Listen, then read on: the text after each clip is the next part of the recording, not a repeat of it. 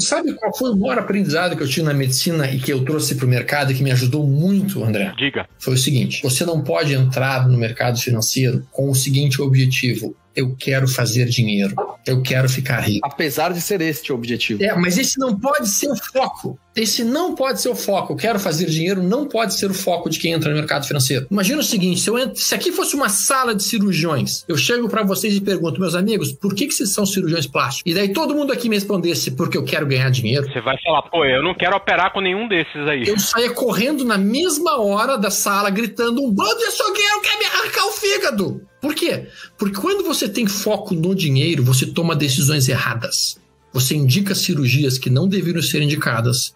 Você faz mais trades do que deveriam ser feitos porque você quer ganhar dinheiro. Você está focado no dinheiro e não no processo. No momento em que você torna o processo fazer a coisa bem feita, fazer o trade bem feito, o seu foco principal, o dinheiro é consequência. Di... Se eu chego pro cirurgião e pergunto pro cirurgião por que tu quer ser cirurgião, e ele fala, cara, porque eu adoro operar com perfeição.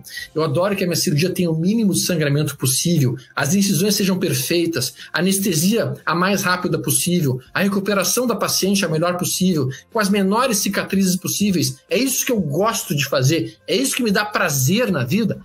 Esse é um cirurgião bom. Esse cara vai fazer dinheiro. Mas não porque tu tá preocupado com o dinheiro. Consequência do bom trabalho. Exato, Indec. O foco do trade tem que ser esse. Eu quero fazer o trade com perfeição. Sabe